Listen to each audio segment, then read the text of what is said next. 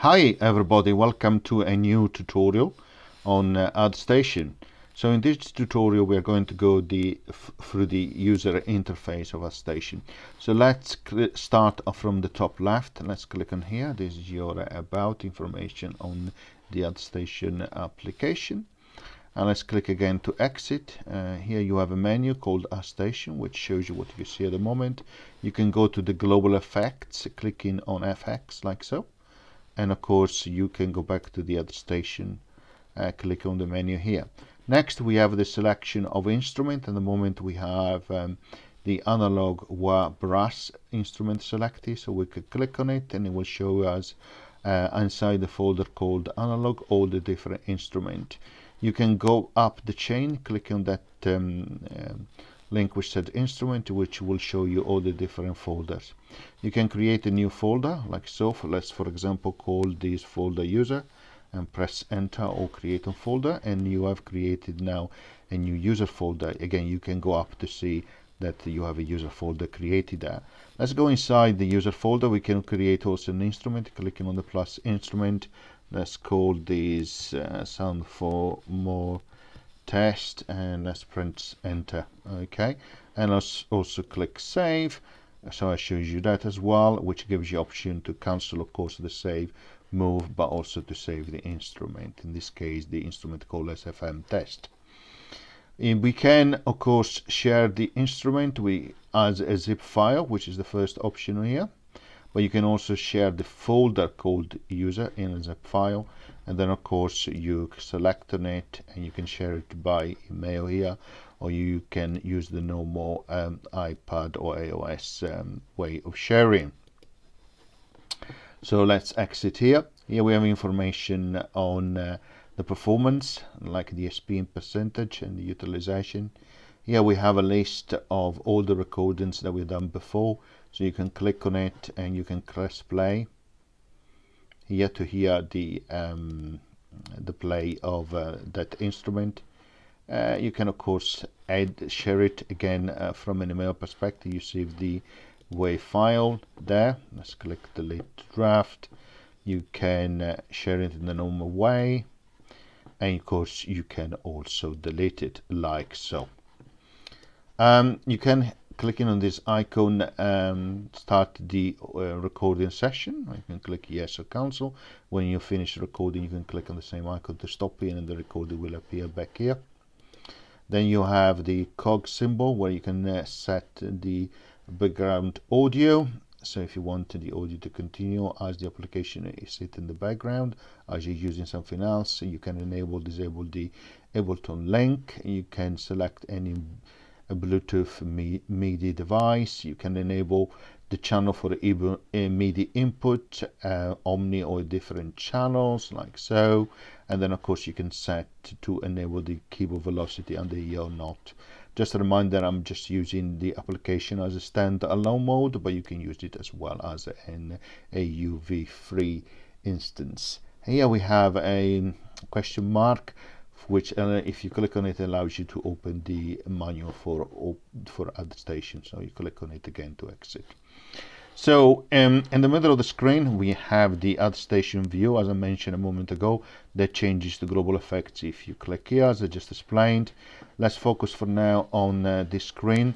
You have uh, a block section block view. You have a loop view and level view and a pitch view um, we'll go through these in, in a moment, but you have essentially four different parts, one, two, three, four per instrument, and then you have um, the possibility to create for each instrument what is called an additive block, or an additive parameter block, uh, where you can set further um, settings for um, the block and also the part.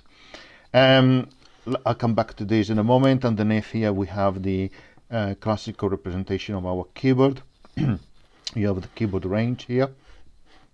And let's actually click a, uh, create a block. Just clicking simply on one of the blocks is created, a default block. And so you can see it's playing, but you can play the block. You can move up and down the range clicking. So it's like moving up octave, but it's really not the octave, it's just the range on the keyboard. So you can reach lower uh, part of the keyboard higher part of the keyboard or ranges different ranges. You can set the scale. In this case is chromatic but for example you can say I want a minor pentatonic and click done and you can see that the keyboard now will represent all the C pentatonic minor uh, keys or, or notes of the scales. And the other thing to notice as well there is a quantize uh, uh, functions in here.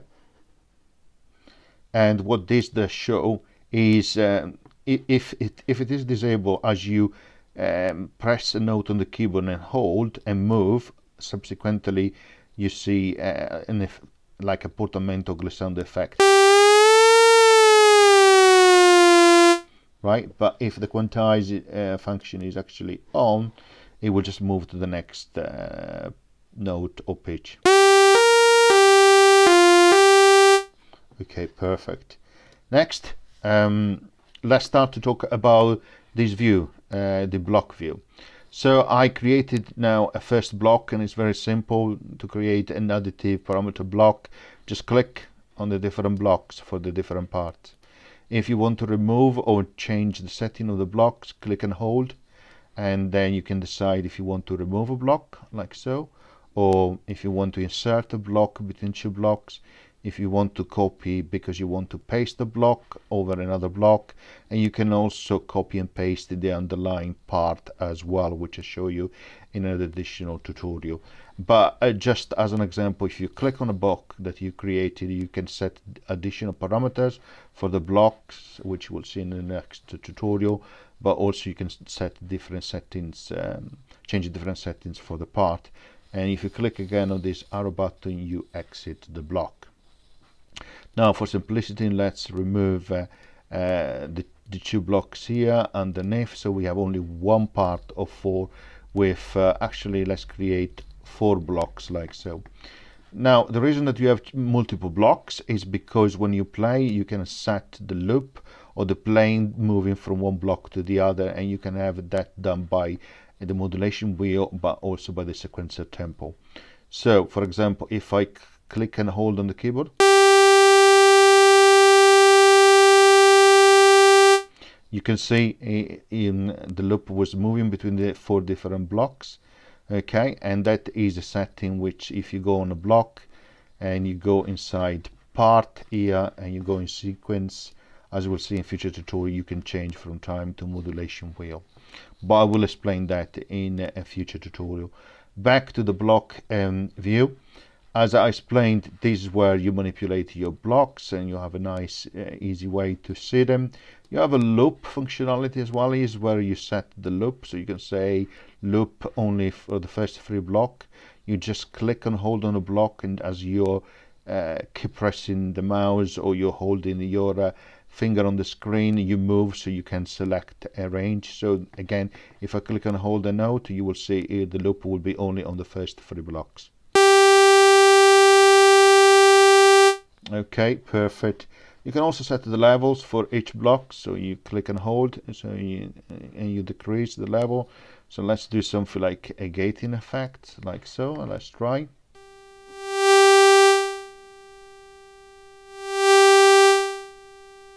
Okay remember the loop is only in the first three blocks as you can see here. And of course you can change also the pitch. So you can say down the pitch here uh, up a lot back to almost the same. Let's reset the levels to maximum to almost maximum like so and let's click play to give you an understanding of how the pitch works.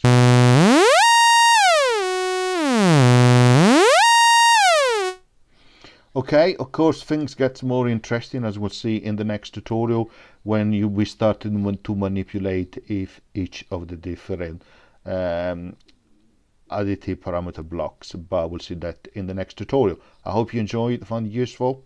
So you see you next time. Bye